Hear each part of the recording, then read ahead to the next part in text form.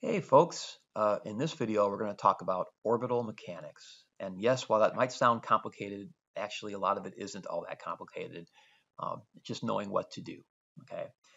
So um, when we talk about orbital mechanics, we're usually talking about energy, all right? And let's say you have the following. Let's say you have a planet, it could be Earth, and let's say you have a ship, a spacecraft, okay? And you are traveling in your spacecraft near the Earth somewhere. Okay, the Earth spacecraft system can have two types of energy. The total energy it's going to have is the kinetic energy of the ship, okay, plus the potential energy of the ship planet system. And uh, this equals 1 half mv squared. Now, m is the mass of the ship, okay? And then remember, potential energy is always negative, so we got minus big G, mass of the planet, mass of the ship over how far they are apart center to center. Okay, so that's the total energy of a system. Okay, the Earth or the planet ship system. It's just a combination of potential and kinetic energy. Okay, now, what if this thing is in a circular orbit? So if, and this is a big if, circular orbit. Okay, well, if something is going in a circle, then we know that its orbital velocity, the orbit, is root g mass of the planet over r. Okay, now that we, we derived that uh, in an earlier video. That's the velocity of something going in a, now here's the key, circular orbit. Okay, this only works for circular orbits. This thing's going in an ellipse or traveling in any other path. You cannot use this equation. But if it is indeed going in a circle, then you may. Okay. So if we sub this in over here, we get the total energy in a circular orbit, so I'll, I'll, label that CO, is equal to 1 half the mass of the ship times the square of this, so G mass of the planet over R minus G mass of the planet, mass of the ship over R. And if you simplify this out, the total energy of something in a circular orbit is equal to negative g, mass of the, the, whatever you're orbiting, times mass of the thing doing the orbiting, over 2r. Okay. Now again, this only works for the total energy of something in a circular orbit. Okay. So be careful about using this. But when you do have something that's in a circular orbit, boy, that's an awfully handy equation to have, okay? Now, again, I'll make a note. This is negative, okay? Um, because remember, where is zero potential energy? Well, it's at infinity, okay? So we're less than infinity, so we have less than zero energy total, okay? Now, what if you want to do the following? Let's say here's the Earth, and here's, let's say, the International Space Station. Now, we know the International Space Station right now is in a circular orbit, uh, and it's going about 17,000 miles per hour to stay in that circular orbit. Now, by the way, it's not truly circular orbit, but eh, go with it for now, okay?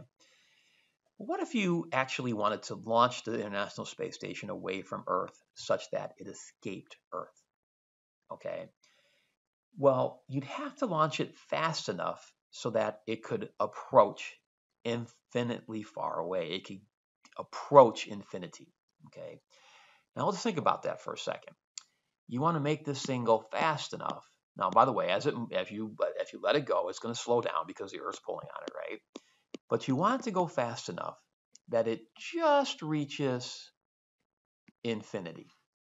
Okay. Now, if you're we want the minimum velocity to get here to get to infinity. We call this minimum velocity, we call it escape velocity. You're going to escape the planet Earth. Okay, you're going to escape the gravitational pull of the planet Earth. Well, we want to know what's the minimum escape velocity. Okay, well, here's the idea. You want to just get to infinity at just a tiny, tiny, tiny speed. In other words, as r approaches infinity, you want your velocity to approach zero. Again, this is for the minimum escape velocity. Of course, you can go faster and then make this not zero anymore. But if we want the minimum escape velocity, we want our velocity to, as we get farther and farther away, we want to just make it to infinity at with almost no velocity left. Okay. Well, then what do you do? Well, check this out. Our total energy is 1 half mv squared minus gmm over r. Well, if r is approaching infinity, what's happening to this term here, the potential energy term? Well, it's approaching zero. And if we're just making it out there, our velocity is just about zero out there, which means what's our kinetic energy term? Well, it's about zero, okay? So here's the deal. You want to set your total energy to approaching zero. Okay, now this is again, I'm going to repeat this again. This is for the minimum escape velocity. If you go faster than the escape velocity, well, then your total energy will be more than zero.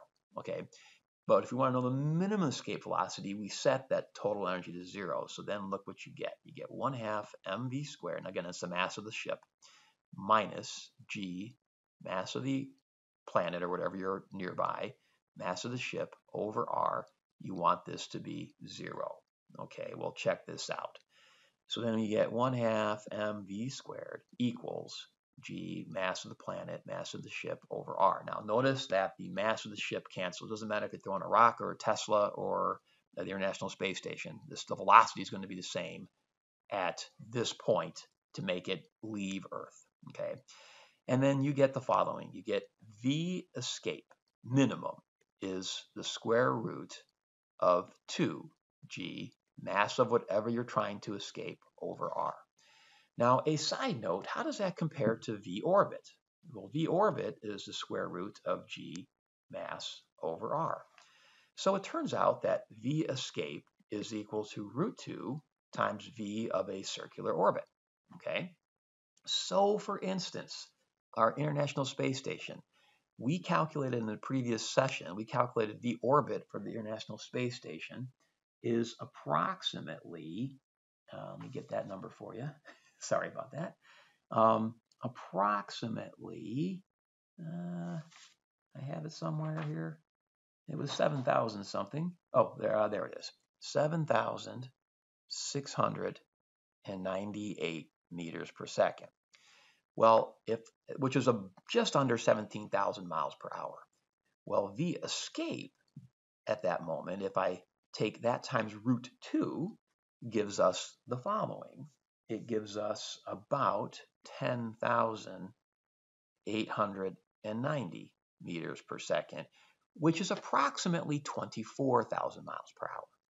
So right now in the International Space Station's orbit, it's going about 17,000 miles per hour. If I were to instantaneously speed it up to about 24,000 miles per hour, it would leave Earth and never come back.